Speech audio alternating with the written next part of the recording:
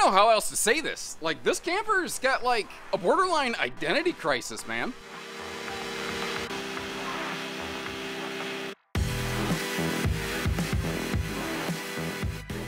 Hey everybody, welcome to Bish's RV. Josh the RV Nerd here once again with uh, an RV that I think really, truly, almost best defines what I call a crossover camping segment. It's not a full toy hauler. It's not a full bunkhouse.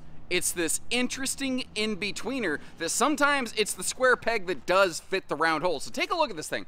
What's interesting about it, this is a member of the FSX division of Salem and Wildwood, and uh, you know it composes their their their larger tandem axle toy hauler models in their Max series. That's what this is here today. One of the key defining qualities on this is that it's a full seven foot tall inside. It's got a bigger interior ceiling, and the idea behind this one is to be able to load the larger toys like it has a 12 and a half foot private rear flex room is almost what I want to call it. You could use it like a garage. You could use it like a private bunkhouse. You don't have to though. Those extra uh, upper flip down beds that create effectively a quad bunk those are optional. So uh, by default, you'll always have a couple benches below and a floating table, but you can outfit this thing uh, to be a family camper if you wanted to, and which is really cool because if you think about it, it could be a family camper now, and then, you know, maybe as the kids grow up, you could just repurpose it as a couples model and not have to change out your whole rig. It could be your last camper the first time around, depending on what you're doing with it.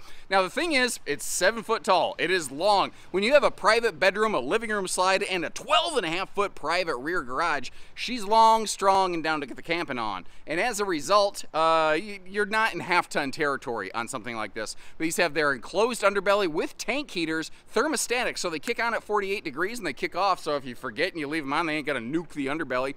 Factory standard solar and a bunch of other cool things about this, but it's got a couple downfalls too. I wanna show you the cool things with the downfalls, and you decide if this is the right one for you. It's my first time recording one of these, so if you would leave me some comments. Let me know where you think they nailed it and failed it. And we'll compare notes at the end of the video here. Leave me some comments and uh, yeah, let's get rolling. I'm excited to see what you think about this. And if I had to guess, I think a lot of people are going to say, man, that's just, uh, you know, that's a little too big. But I hear people very commonly say in the, the travel trailer toy hauler market, you know, why can't they give it a private garage? Why can't, you know, why, why is everything always in one open room? Well, they can do it but it requires extra length. And I could also see some people saying, well, if I wanted something that big, I'd just get a fifth wheel. To which I say, yeah, I, I respect that because you're pretty much going to need the same truck that you'd tow a fifth wheel anyway. So why would you go with something like this? Well, a couple reasons. You don't have to give up your truck bed when you're towing a trailer it's going to be a fraction of the price of an equivalent sized toy hauler fifth wheel. That's a major, major deal. And again, with that interesting kind of quad bunk potential uh, rear, you know, it's not just a garage. It could be um, uh, a three seasons dining room that's built right onto your RV. It could be a, uh, you know, a craft room. I could see somebody building it up like an office. Like, there's different ways you could use this space. So um, th this is going to work, I think, for the, the folks where nothing else has just quite fit the bill. Sorry, I bumped the camera on something right there. I will say, anytime I see this kind of kitchen arrangement, though, I love it. That, that wraparound U-shaped kitchen with the dining bar, I'm a big fan of this kind of setup right here. Um, also, if I uh, a squat on the uh, the hide-a-bed sofa, you see that you are straight across. Whoop, that was further down than I thought. My, my tall butt was up a little bit high, I guess. But um, you're straight across where the entertainment hookups would be. Now, it's also not set up for a giant television. There's not a ton of space there. But I don't think the idea behind this RV is sit inside and uh, watch TV all day. Now, you see that power outlet over there in that kind of, I'm going to call it the appliance corner of the kitchen? because this is a stick-built camper, like we're looking at fiberglass today, and a lot of times when people see fiberglass, they automatically assume aluminum.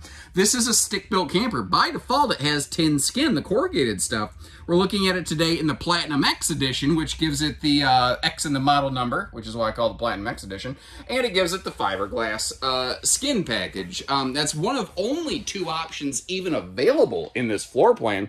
The other being those optional uh, fold-down upper bunks that we're going to see here. I do like those USB plugs, but I feel like they should be down uh, a little bit lower. They're up so high that a lot of your power cord is used up just dangling. Uh, just my insight and two cents anyway. Sliding back here. I don't even have the lights on in the garage because we've got all the natural lighting flooding in from outside. Not to mention, there's windows all over the place in this thing.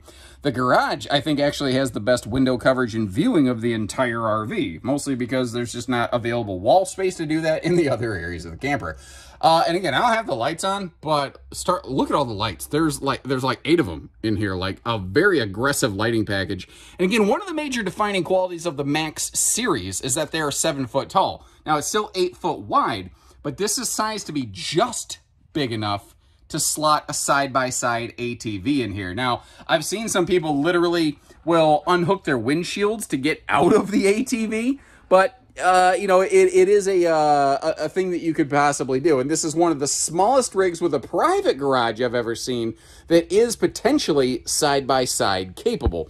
Something that it's cool and it's not is this little stand over here because they had to have a place to put the converter panel and they really didn't have a lot of other space for it so it kind of just got installed here but they capitalized on the opportunity and I think they kind of tried to turn chicken poop into chicken soup which is an awesome visual if you think about it and they turned that into like a little device charging stand. I think that's pretty smart especially when you consider all the other things this room can do back here. Now, Uh, just making it look even larger. Not only do we have that seven foot ceiling, but we also have that skylight up top. But like I've said a few times, this thing can convert into a bunch of other purposes. It doesn't have to be just a bunk room. It can fold into a quad bunk. The two bottom benches are always there. The two upper benches are optional. And the one thing on this that maybe some people don't like is there is no like, uh, they fold in meet in the middle mega bunk kind of feature. This just does not really do that. Although the floating dining table might be able to bridge the gap and you could use those wedge side cushions, but it's never going to be totally flat. So maybe there is an opportunity for that. I might actually circle back later in the video and double check on that. So if that's something you're curious about, stay tuned. But for now, we're going to keep on rolling. Under each of the benches, you have um, food grade storage totes. So there's six of those back here. And they, they nest into one another. If you just want to tell them, you know, move, get out the way, you can absolutely do that very easily. And there is something very fun about having this like elevated rear almost exclusionary patio space back here. Now, normally I, I, would hope you've got a better view other than being parked right on top of a bunch of other campers, but you get the idea. Now, you may notice how I uh, silently slid that table over right there because that is free floating. So if you want to use that back here on the porch, you can. If you want to use it down on the ground, you can. And uh, when the legs fold up, it's thin and, you know, easy to manipulate and totally move wherever you want it to. Now, there was an extra little pocket of space, and I love how they didn't waste it. And they just stuffed it full of all these little cube organizer guys over here. And actually, I'm kind of eh, putting them into use right now because all of the windows uh, in the bunk area have these like um, blackout blind shade kind of things that can go on them right there. Uh, so if you are using it as a sleeping space or you just want full privacy or it's too hot and you want to keep the sun out, you can flat block the sun out of those. And notice how it kind of dog leg lefts a little bit. And there is a little bit of a lip on there, not too much, but they fit snug enough. I, I don't feel like those are really going to be a problem bouncing around in transit. And I love that they kept the heat vents out of the floor. I there are some benefits to floor vented heating. I've actually spent quite a lot of time um, almost defending floor vented heating in a lot of instances to potential consumers, but this is not one of those instances where I think it is the proper application. So good job there. Um, sliding back around, kind of a, a middle sort of bathroom and a sh shockingly, like surprisingly large one. First of all, that seven foot ceiling creates tons of headroom in that 30 by 36 rectangular shower. Um, they've done this in a few floor plans. The Max series seems to, to, to run into this all the time. That toilet, the position isn't wrong. The angle that it's uh, sitting on is wrong because it is ultra tight for uh, right-handed elbows and considering how the vast majority of human beings are right-hand dominant, that does seem like an oversight. So if that toilet was just angled a little bit, it would solve that issue. And maybe there's some kind of engineering problem there of which I'm not aware that prevents that. But I mean, as I kind of just mentioned, I'm not aware of one. So that's, uh, I guess just my, my stupid if I would have thought before I spoke, but thinking before I speaking, well, obviously it's not what I do because I just botched that right there. Full viewing window in the door, but it, it's it doesn't have a privacy shade, nor it is is it the kind that's like shade prepped. So you're gonna want to kind of keep that in mind. But I do think when you're sitting at the sofa, having the extra campsite window coverage over here is kind of a uh, you know a pleasant surprise. I will say, if you're going to put a TV up there, you're definitely going to want uh, some kind of articulating swing arm kind of mount. Otherwise, that's just going to be a bit of a problem. Now, we're going to fly by this in just a second when we open up all the storage. I do want to mention, that's not a propane oven. Um, that is a, uh, uh, microwave uh, convection combo, or it's really interesting how convections have recently been redubbed air fryers. And I am discovering a lot of people are not aware of the fact that a convection microwave and an air fryer can be the exact same thing. It's one of the best marketing things ever because if you want Americans to buy it, you relate it to food and you use the word fried. And folks, we just, I, I, I, mean, well, for lack of a better way of saying it, we just eat it up. Speaking of eating it up, storage in the fridge here. At a glance, the fridge looks like it opens the wrong way, but that is a uh, AC-DC kind of fridge door. It goes both ways. Um, you can flip it either direction, which I think is very, very cool.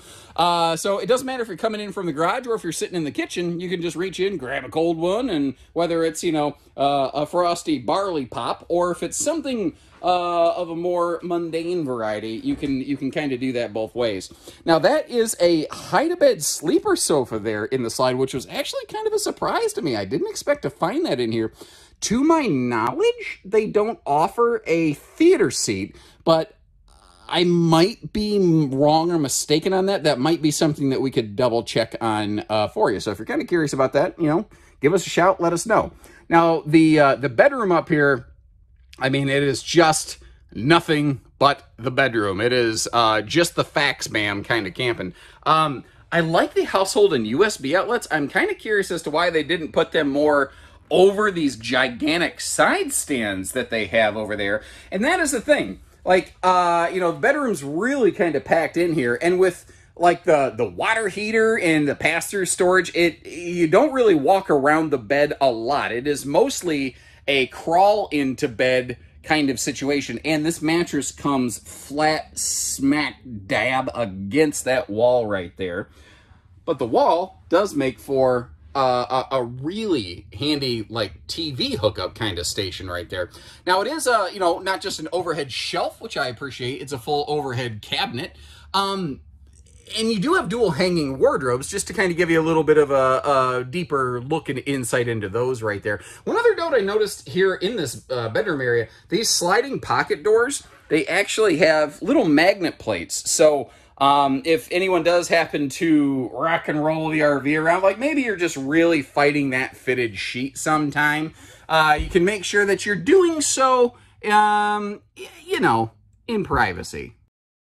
Now, the trick with a model like this, it just it, just doesn't have the greatest road travel access.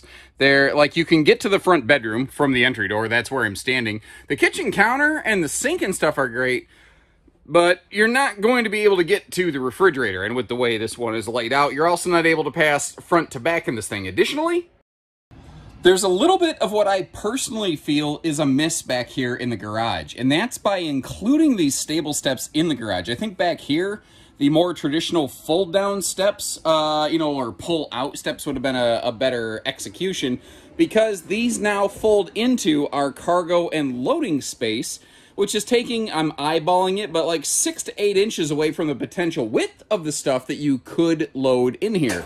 Now, ooh, okay, well, apparently I didn't have those all quite latched into place. By the way, if you appreciate how I'm getting you this footage, consider the fact that I'm a one-man band, and I literally had to climb in the RV, pull the steps up, and lock myself in this thing, and I'll have to figure a way to get out from here, but I think I got it figured out. If this footage makes the light of day, then I survived, and I didn't die of heat stroke inside this thing. Um, if you do get in through the back door, though, one of the features that it can offer is traveling access to the bathroom.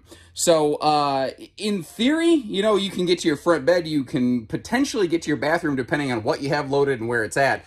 But the fridge is flat lost. But is there a way around it? Well, Maybe. Because the thing is, this is a cable slide system, and one of the benefits of a cable slide is that you can get away with opening it only partially. So like you can see how that window there is half covered, and now there's enough room for us to get to the fridge. I didn't have to open it much, I had to open it just enough.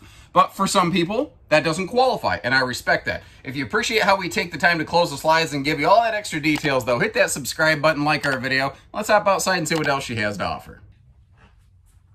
I feel like I'm forgetting something.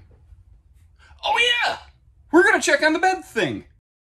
Hey, what do you know? it works! And in fact, the factory did plan accordingly uh, because the, uh, the, the, the metal frames um, where the, uh, the two bottom benches kind of come down, they actually have a couple little Velcro catches and that table has matching Velcro on the bottom so that it kind of stays in place. Now, if you want the giant mega bed, you can do that, but there's actually another function you could perform on this. You can use it to help keep the bed separated. Now, at first glance, you might think, well, you don't even need to put the table down to keep the bed separated. Sure. But if you have kids that roll over or roll off the bed at night, that might be a uh, handy little buffer space for them. Or what if they uh, roll off the upper beds? Well, first of all, you're going to want to get a safety rail, but in theory, it might be a little bit of a crash landing pad. In fact, let's test that theory out. How, you ask? With the atomic elbow, brother. Just kidding. It's not like I would ever do that. Again. Now, there's a couple key factors here, and one of the first things I want to say is I don't feel that this should be paired up with a half ton pickup. And understand, with half tons being the most commonly purchased truck out there, I just knocked out the vast majority of truck owners, the people who could possibly be interested in this thing. So I hope you appreciate the uh, transparency and candor when it comes to your safety. A couple major factors that lead me to that. First of all, it's fairly tall, you know, it starts to get a little bit topsy. Uh, secondly, it's 36 and a half foot long, man. Tip to tail, tongue to bumper, she's long. And the longer the RV, the more it pushes the vehicle around. And with a total GVW of just over 10,000 pounds, I just don't like the idea of a half ton pairing up with this. Now, this is something um, a lot of haulers lack a full unobstructed front pass-through compartment. That is actually a pretty cool find. Something else I like on these also for the extra stability, especially in a long trailer, are those better uh, stabilizer jacks, those um, quick drop stabilizers. First of all, they're like drill bit jack friendly and uh, drill bit jack. That sounds almost like some kind of like Cajun alligator hunter. Yep, we got another wild one we need to go call drill bit jack. Oh, sorry if the camera lurched. I just walked backwards into a slide out that was open behind me, about to knock the air out of myself. Anyway, dual entry doors. Um, they're both anti-slam. They both have the viewing window in them. You know, privacy shade ready. They're they're ready to throw shade. And the awning encompasses both, which is cool. The awning is right next to the edge, or the doors are next to the edge of the awning, though. So on a rainy day, you might get spritzed in the face a little. And uh, up top, you can kind of just see peek it over there, the 200 watt factory standard solar panel on these. This also has a 30 amp charge controller. And up front by that front pass-through compartment, you can see the little black dot under the marker light. Um, it is prepped and ready for a portable solar panel. So if you are in the shade or you want to chase the sun or you just want some extra juice coming in, it's an easy way to do that that doesn't require, you know, drill bits and screws and stuff. Now we have a full outside utility shower, which is cool, the, the cold water only higher pressure sprayer port here can be handy for some cleanup things where the low pressure shower just doesn't get the job done, son. Down below, a couple cool things. We've got the Stinky Slinky sewer hose holder because it doesn't have a rear bumper. And you don't have, like, you could buy those aftermarket, but now you don't have to. Got our gas grill cooker hooker right over here. And the underbelly, it's not forced air heated but it does have enclosed sectionalized panels that are easy to drop for service related purposes. Also, it has uh, tank heaters, factory standard, and they're thermostatic. If you don't know what that means, if you leave them on all the time, it will uh, they'll turn on when the belly cavity gets below 48 degrees. So they just kind of temperature sense their way around things. And um, you know, if it dry, or if it races back above 48 degrees, they shut themselves off. So you're not sitting there boiling your holding tank. Their job is to just keep things protected. They do also include a radiant barrier in the underbelly of this, just to help kind of you know capture and maximize the efficiency of everything. That being said, these, to my knowledge, are not cold chambered. They are not hard cold camp tested. What I can tell you, knowing what I know about these, is that it should be reliable extended season. but I can't give you any specific insights beyond that. And, you know, if the factory doesn't make the promise, I don't know how I or anyone else can either. So if, you know, here, that that might be like if, if you're shopping around because I get that not everybody who watches these videos buys from Bish's RV. If you're shopping around ask the person who's representing an RV like this, hey, is that one of those Four Seasons campers? And I despise that phrase, but if they go, yep, absolutely, just get away from them because they're just trying to tell you whatever they think you want to hear to get your money. So there's a handy little shopping pro tip. And put my own people to the test. I don't care, you know, make sure that we're up to snuff for you. I want to make sure that, you know, we're doing the best job we can for you as well. What's good for the goose is good for the gander. Now, um, the roof is walkable but it is prepped and ready for one of those telescopic removable ladders. You can see the bracket mounted all the way to the back of this side of the wall uh, over here. Um, man, we're actually cooking right around the outside of this one. Sweet! Uh, it is a single-headed sewer monster. The bathroom and the kitchen all drain out to a single point right here. It is right next to the slide. I guess technically speaking, the black tank pole is under the slide a little bit, but I don't think that's terrible. It does hang down awful low though, doesn't it?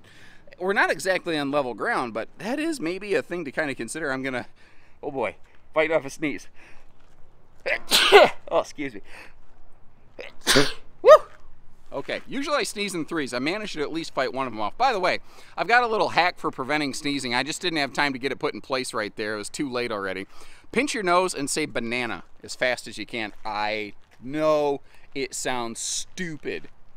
I swear it works. 60% of the time, it works 80% of the time. So once again, we find ourselves at the tail end of the video. oh boy, what a joy. Anyway, Thank you again for tuning in. Let me know what you think about this one. My first time going through it, so I'd really be curious to know what kind of thoughts and feedback you have. And of course, I'll leave you links in the video description if you want to check for pricing and availability. We'll have it all listed right there for you, whether you're curious or whether you're serious. Anything that we have in stock, we have pricing whenever we can listed right on there clearly for you. Uh, so no need to give us your grandmother's, you know, social security number or anything like that just to get some figures. And if we're sold out, call our team. We'll hook you up. No big deal. Take care, stay safe, have fun, and happy camping, everyone.